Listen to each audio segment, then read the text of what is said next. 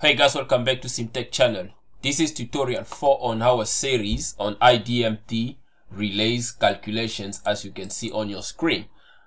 Now in this tutorial they say using information that are given above which are we've got a fault here of 12,000 amp and we have a relay 2 okay that is near the fault that's got a CT ratio of 800 over 1 and a plug setting of 150 and then there is another relay that is relay 1 same uh, CT ratio and a plug setting of 125 percent.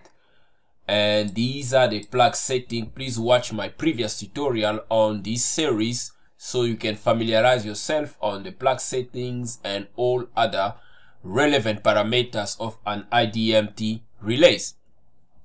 Now in this tutorial they say we need to calculate the TMS values okay for relay 1 and 2 which are these two relays. If relay 2 must trip in 0.3 seconds. Now remember we already have a predetermined fault in this bus bar because this is a bus bar and the fault here is 12 kilo amp and they say because of that fault this relay R2 is already set up to trip at 0.3 seconds okay? For the fault at F of course.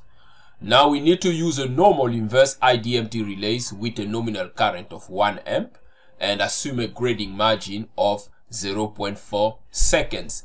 Now on my previous tutorial I've explained about the IDMT relays characteristics curve and in that series of tutorial I also explained these grading margins of 0.4 which takes account because basically an IDMT relay is a tripping device that need to trip and in that it goes into a couple of sequences so which include a function of a circuit breaker so based on that those sequences combine into a grading margin of 0.4 seconds. I explained it on that tutorial. Please go and update yourself by watching that tutorial on IDMT relay characteristics curve.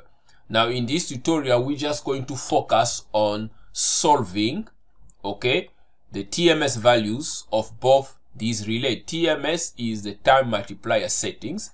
And on the previous tutorial, that is tutorial 3, on IDMT relay we discuss more about this TMS. So now before we go ahead, please uh, don't forget to give this tutorial a thumbs up if you found something meaningful, of course, and subscribe to CMTEQ channel so that you don't miss new tutorial of this nature.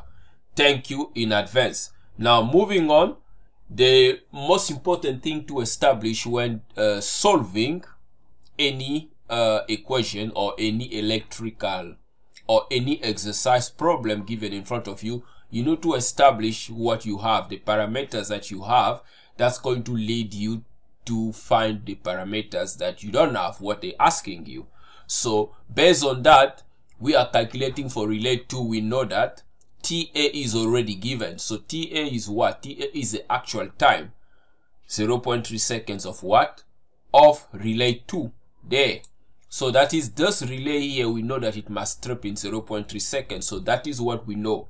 And then the second parameter that we know, which is important, is the fault current in this bus bar. So the fault in this bus bar is 12 kilo amps. And another thing we know that is the nominal current for our relay, okay, is 1 amp. And always notice how the nominal current is always the same with the secondary here because you can see the ratio is 801. So that 1 amp, there is a secondary current of the current transformer and it's exactly the same with the nominal current. The next parameter is a plug setting for this relay that is 150%. So that is exactly 1.5. So that will be somewhere here in this IDMT relay. Okay. Now in our previous tutorial, we saw that TMS, okay, the time multiplier setting here is equal to the actual time divided by the tripping time, which is uh, TC. So we need TA divided by TC, that gives us our TMS.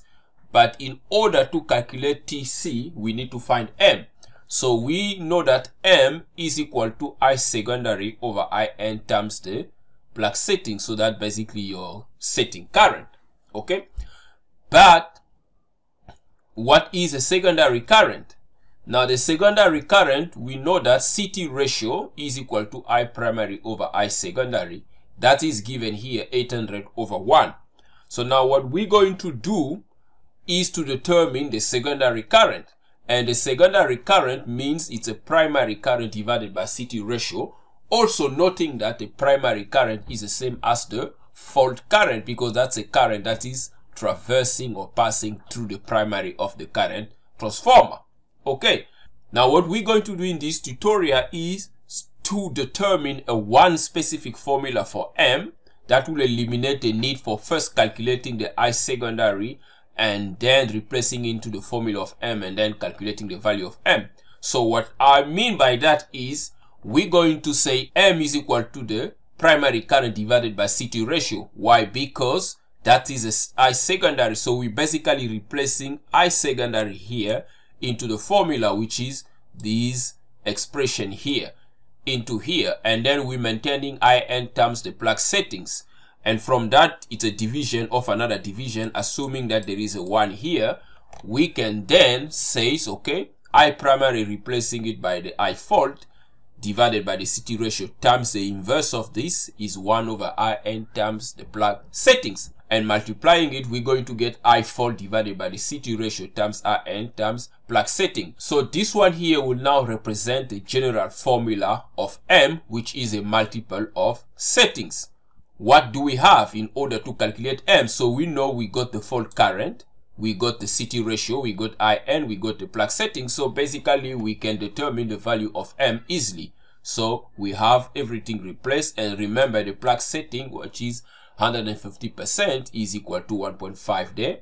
And we find a value of M that is equal to 10. So the multiple of settings in this case here is equal to 10. So we move on. Then we can calculate TC. They say we must use a normal inverse normal inverse, we know that TC is equal to 3 over log M. Again, if you are unsure about this, you can go watch the previous tutorial where I did a bit of explanation there. And replacing the value of M into the formula give us a TC of basically 3 seconds. Okay, so now from here, we can then calculate our TMS value of the first relay, basically on the downstream side, that is relay 2 and the TMS is TA over TC as we say in the beginning and then replacing we get the value of TMS of 0.1 seconds that is 0.2 divided by 3 so that gives us 0.1 seconds. So we've now calculated the value of TMS for relay 2 now we need to calculate the TMS for relay 1 now the, the next stage here is very important. So you have to pay attention because if you miss it then the rest of your calculation is basically going to be wrong. So we now need to calculate for relay 1 for the same fault. Because remember relay 2 is protecting for the fault at F but relay 1 is also protecting for the same fault. So in case this relay 2 here fail to close or to break, this relay 1 need to break. This is why you calculate the timing so that these relay R1 and R2 they should not have the same timing. Why is that the case? Because they cannot break the circuit at the same time. So relay 1 here must allow a specific timing for relay 2 to break. Just if the relay 2 failed to break, then relay 1 should come in action and separate whatever is on this side of the circuit. Okay, now moving on we know that the plug setting for relay 1 is obviously it's 125%. So it's somewhere there. So which give it a plug setting of, uh, of 1.25. Okay. Now pay attention. We follow the same procedure except we must add a grading margin of 0.4 seconds to TA, the actual tripping time. So that's it. So they said here that the relay 2 is breaking, is going to trip in 0.3 seconds, but they say also that there is a 0.4 second grading margin. What it means is this relay here is going to trip after 0.3 second plus the grading margin. So this relay is going to trip in 0.3 seconds. but there is a grading margin also that must be added into this relay too. so which make that the total time for the clearance that this relay must wait is 0.3 plus 0.4 so this is where we get a value of 0.7 seconds here so r1 here is going to wait 0.7 second before tripping so after 0.7 seconds, if this relay already tripped, then this one doesn't have to trip anymore because the fault have been cleared already.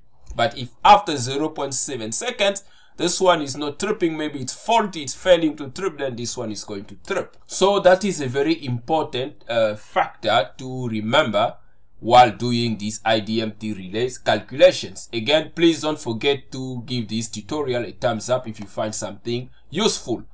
Now the next thing is as we're following the same procedure is to calculate M using the same formula.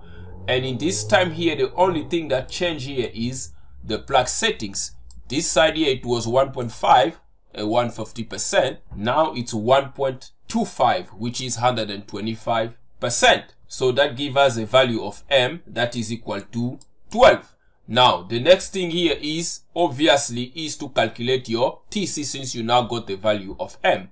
So TC is basically that and it gives us a value of 2.78 seconds. And from there you can then calculate your TMS since you now have your TC.